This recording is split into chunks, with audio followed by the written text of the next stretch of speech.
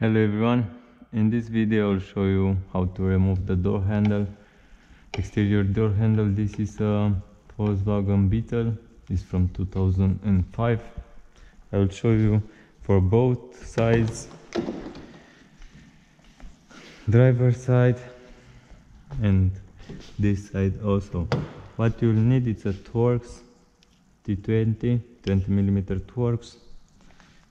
You will have here a plastic cap. Remove this plastic cap. Here inside you'll have a screw. Remove this screw not completely until right unscrew a little bit and after that push on it.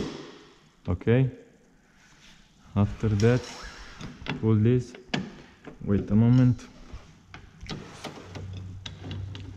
screw it back. Okay now. Pull the door handle. Now. Unscrew it and push.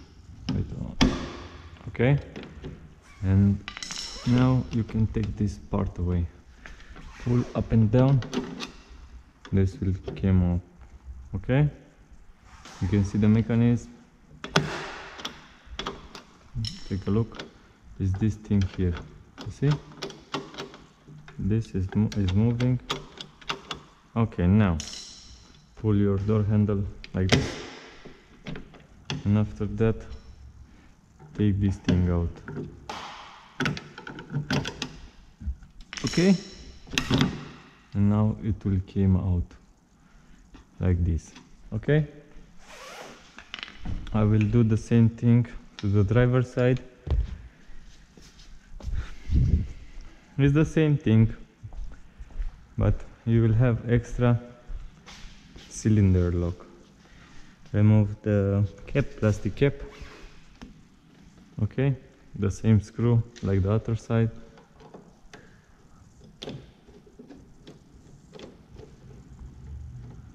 Unscrew it push it. Push it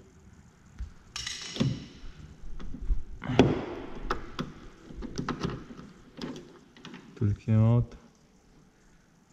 If it's not coming out very easy that means you have it's very old. I don't know what with what material is this but you can see it's not rust but it's something a chemical effect. I don't know. You need to pull it if it's now the same thing. Remove this thing and this is it. You can see this car have rust. This is it how you remove the door handle from a Volkswagen Beetle from 2005